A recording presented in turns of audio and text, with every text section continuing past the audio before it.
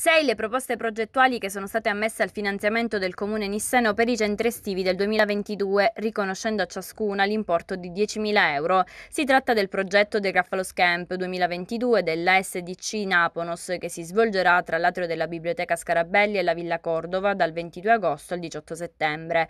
Gioco, imparo e mi diverto dell'SD Polisportiva Nissena al campetto Michele Amari, Portella della Ginestra dal 4 luglio al 31 agosto. Stesso posto e stesso periodo per Viva Caltanissima Nissetta 3 dell'SD Sport Club Nissa 1962. Dal 22 agosto al 17 settembre invece a Santa Barbara tra la villa e lo spazio esterno della chiesa ci sarà Gioco Anch'io Sport per Tutti dell'Associazione Sportiva Dilettantistica Centro Posture e Benessere.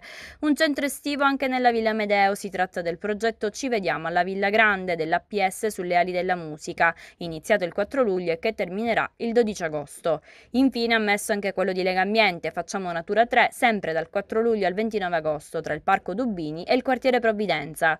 Nove invece le proposte ammesse ma non finanziabili e che avrebbero coinvolto la Villa Medeo, il Parco Robinson, la parrocchia di Santa Barbara, la biblioteca, il Giardino della Legalità e i campetti Michela Mari e di Via Luigi Rizzo, nonché il Palacannizzaro.